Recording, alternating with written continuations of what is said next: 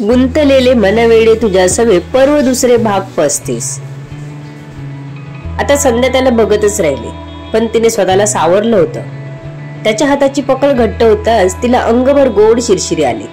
रात्रीचा एक सवा एक वाजला हे ती विसरून गेली होती. तो आपल्याकडे असं एकटक बघतोय बघून गोळा चाला पोटात तिच्या. तिने नजर दुसरीकडे वळवली. वेद तिला बघून गालात हसला. तिने नजर फिरवल्यामुळे तिला ओझरता हसताना दिसला. वेद हसतोय? ती मनातच म्हणाली पण आपला हा भ्रम असेल असं वाटून तिने पुन्हा त्याच्याकडे बघायचं टाळलं.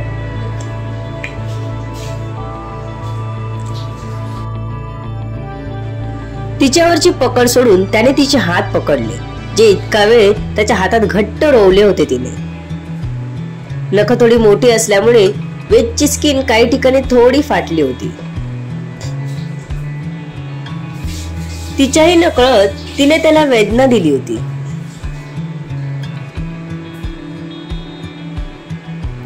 त्याने बाकी काहीच केले नाही. त्याने तिला बघितलं. एखाद्या हरणीसारखी घाबरलेली जाणवली. तसं तिला आपल्या घट्ट मिठीत घेऊ हीच भावना त्याच्या मनात आली. पण दुसऱ्या क्षणाला आपले विचार बाजूला करत त्याने सावरलं स्वतःला. त्याने हनवटी पकडून तिची मान वर केली आणि तरीही नजर खाली ठेवत तिने मान वर केली. माझ्याकडे बघ. तो बोलला पण आवाजात आधीचा कडकपणा नव्हता. तिने भीतभीतच त्याच्याकडे बघितलं. त्याने दोन भुवया उंच उडवत विचारलं. झोप का नाही लागत अजून? वेद म्हणाला तसं संध्याही म्हणाले. हा प्रश्न मी तुम्हालाही विचारू शकते ना? हो मग का नाही विचारलास? तू एवढी ह्या कुशीवरून त्या कुशीवर करतेस की झोपला असेल कोण तरी त्याला जाग येईल मलाही आली जाग. वेद म्हणाला खोट साप खोट. तुम्ही पण झोपला नव्हता वेद. संध्या म्हणाली आणि पटकन त्याला बिलगली. सॉरी मी तुम्हाला चावायला नको होतं. सॉरी सॉरी सॉरी ती त्याच्या डोळ्यात बघत ओल्या आवाजात म्हणाली. मग त्यानेही काही जास्त ताणलं नाही. तिला आपल्या जवळ ओढत मिठीत घेतलं. त्याच्या मिठीत ती पूर्ण झाकून गेली होती.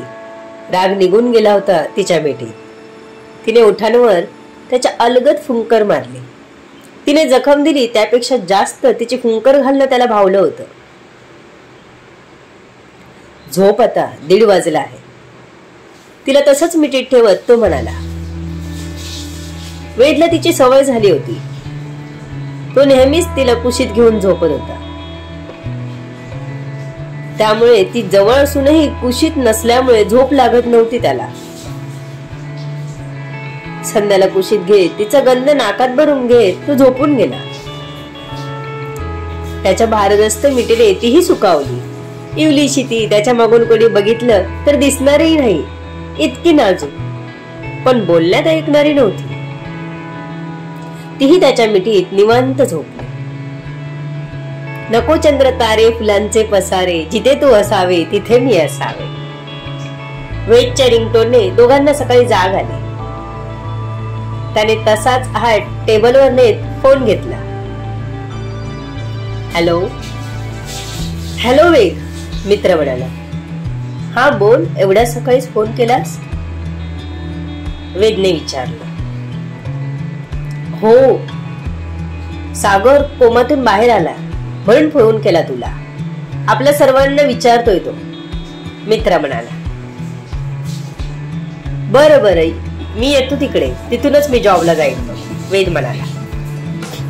हा ये मित्र म्हणाला आणि त्याने फोन ठेवला. संध्यानेही त्यांचं संभाषण ऐकलं होतं. त्यामुळे तिला कळलं काय झालं होतं ते. सागर भाऊजी आले सुट्टीवर? देवच पावला म्हणायचा. मी येते. आपण एकत्रच निघू. संध्या म्हणाली तसं दोघंही तयारीला लागले. सागर गेले तीन साडेतीन वर्ष कोमामध्येच होता. खूप औषध डॉक्टर केले होते मित्रांनी. पण तो काही रिस्पॉन्स देत नव्हता.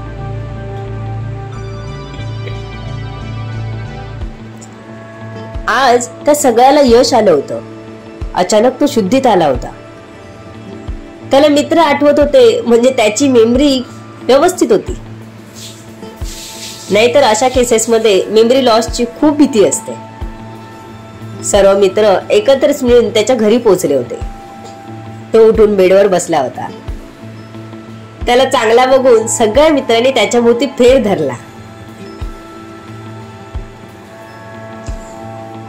यारो अपनी यारी कितनी प्यारी मिले हम तुम एक साथ भाड में जाय दुनियादारी. सगळेच एकत्रच ओरडले. सर्व एकत्र भेटल्यावर हे गाणे ठरलेलंच त्यांचं. सगळे गोळा होऊन बेडभोवती बसले. तशी संध्याही तिथल्या खुर्चीवर बसली. वहिनी तुम्ही आलात? सागर संध्याकाळी बघत म्हणाला. हो ओळखत होते ना तुम्हाला. म्हणून मी पण येते म्हणाले यांना. संध्या हसत म्हणाले. बरं झालं. त्यानिमित्ताने आलात तरी आमच्या घरी सागर म्हणाला. आई वहिनी आली बघ. सागर आपल्या आईला म्हणाला तशी आई त्याची लगेच बाहेर आली.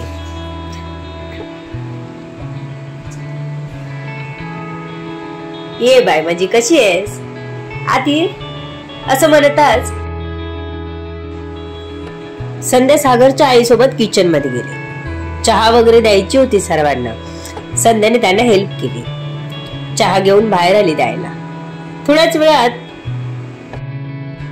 वेद आणि संध्याने निरोप घेतला सर्वांचा. आणि संध्याला सोडून मग तोही कामाला गेला. आज खूप दिवसांनी संध्याचं चेकअप होतं. तिला खूप भीती वाटत होती. संध्याकाळ जशी जवळ येत होती तशी संध्याची भीती वाढत होती.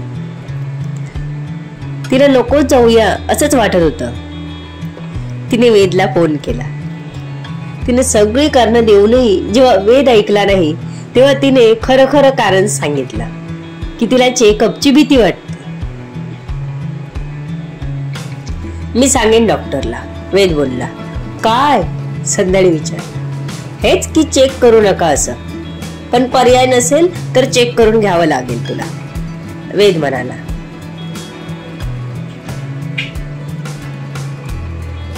तुम्ही पण सोबत चला. संध्या तोंड बारीक करत म्हणाली. अरे असं कसं येऊ देतील आतमध्ये? त्यांचे काही रूल्स असतील ना? लेडीज डॉक्टर आहेत. पहिल्यांदा भीती वाटली ठीक आहे. आता नाही वाटणार भीती. वेद बोलला. नाही मी नाही करणार तसलं चेकअप संध्याने जवळजवळ बंडच पुकारल्यासारखं बोलत होती. राणी असं नसतं. आपण ठरवू तेच होत नसतं. काही वेळा डॉक्टरचंही ऐकावं लागतं आपल्या हितासाठी. वेद तिला समजावत म्हणाला. नाही मला ते काही माहीत नाही. आजकाल कितीतरी टेक्नॉलॉजीज आल्या आहेत. त्याने चेक नाही का होऊ शकत? ती वेदची वाट घालत होती. तुला नेमकं काय हवंय? आज जाऊया की नको डॉक्टरकडे? वेदने विचारलं. नको. तिने स्पष्टपणे डॉक्टरकडे जाण्यास नकार दिला होता.